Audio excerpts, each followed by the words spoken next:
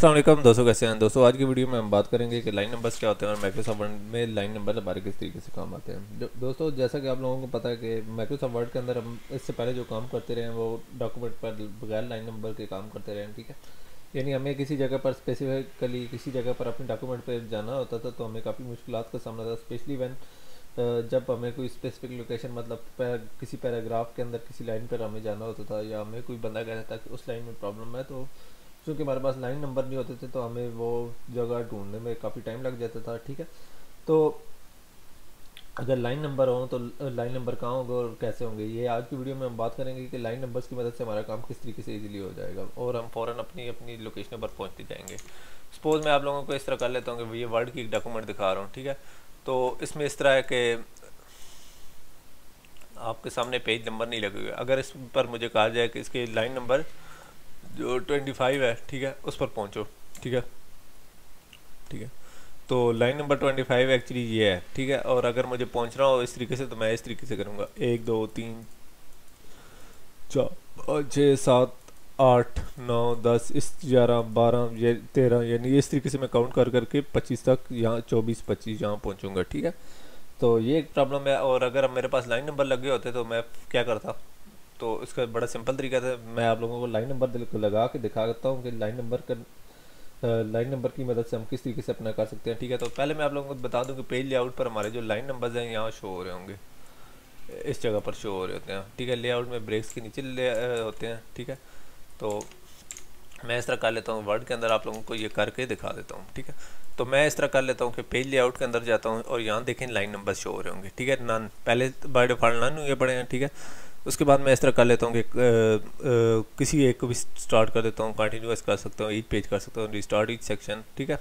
तो मैं इस तरह कर लेता हूँ कंटिन्यूस करता हूँ। तो ये देखें हमारी पूरी डॉक्यूमेंट को लाइन नंबर लग गए एक से लेकर तीस लाइनें हमारे पास तो इन सबको लाइन नंबर लग गए हैं, ठीक है? तो मैं इस तरह कर लेता हूँ कि गो टू में जाता हूँ, ठीक है? कंट्रोल जी के साथ गो टू ओपन होता है, या हम अपने, आपको पता है कि फाइंड के साथ कंट्रोल एफ़ प्रेस करें, या हमारा जो नेविगेशन पेन है उसके साथ एक यहाँ से गो टू आ सकता है। तो इसमें लाइन नंबर मैं सर्च करना चाहता हूँ, पच्चीस। तो मेरी पच्चीस को इंटर करूँगा तो ये मुझे पच्चीस पर ले जाएगा, ठीक है? और अगर मैं इसके साथ प्लस करूँगा तो ये क्या करेगा? ये मुझे छब्बीस पर ले जाएगा और इस तरीके से मैं माइनस करूँगा तो ये मुझे चौबीस पर ले आएगा। तो मैं जो लाइन नंबर कहूँगा, ये मुझे उस लाइन नंबर पर ले आएगा, यानी पच्चीस पर ले आता है। तो इस तरीके से हम लाइन नंबर की मदद से बड़ी जल्दी किसी जगह पर किसी लोकेशन पर पहुँच सकते हैं जहाँ हमने कोई चेंज वगैरह करनी होती है। ये तो था हमारा लाइन नंबर्स का कंसेप्ट ठीक है? तो लाइन नंबर्स का यहाँ तक तो हमने कर लिया, ठीक है?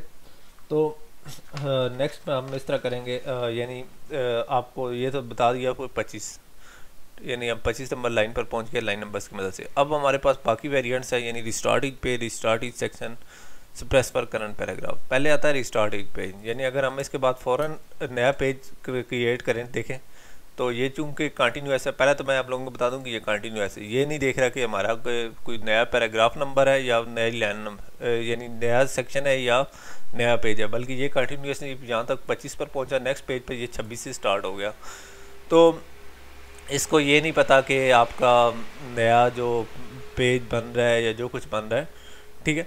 उसको नए सिरे से लाइन लगानी है, बल्कि ये कंटिन्यूसली लाइन लगा रहा है, ठीक है? तो मैं इस तरह करता हूँ कि आप लोगों को यहाँ से खोल दोबारा इसको ओपन करता हूँ, ठीक है? तो लाइन नंबर्स के टैब को, और यहाँ से मैं इस तरह कर लेता हूँ रिस्टार्ट एक पेज तो ये देखें 25 और फिर नए पेज से, नए सिरे से शुरू हो गई हैं, ठीक है? ये चेंज मैं आप लोगों को दोबारा दिखाता हूँ। पहले कंटिन्यूस था नेक्स्ट पेज से 26 से स्टार्ट हो रहा था, लेकिन जैसे ही हमने लाइन नंबर्स में जगह वहाँ से रिस्टार्ट ही पेज किया तो आप लोगों ने देखा होगा कि नए सिरे से हर पेज को नए नंबर लग गए हैं, ठीक है?